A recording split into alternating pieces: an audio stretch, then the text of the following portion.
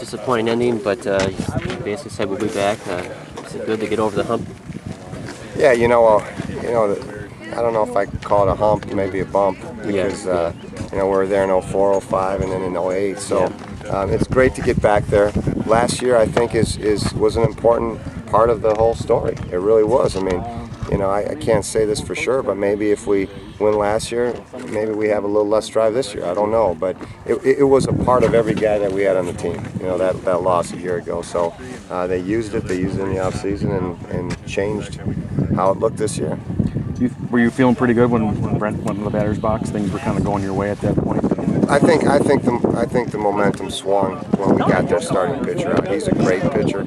He's been capable all year. He threw against us earlier in the season, did a great job. So when they when he came out, when when we finally got to the pen, we felt that once we get to the pen, our chance of winning are going to go up.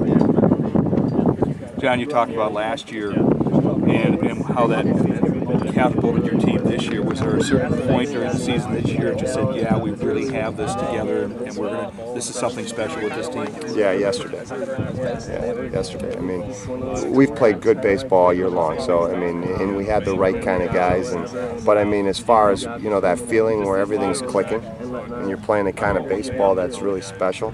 You know, that game yesterday was was that game. I mean, it, it could have went either way, but we played some of the best baseball I've ever been a part of uh, here anyway. And, and um, you know, I think that was the, the, the moment in time that, that this team said, you know what, let's finish it.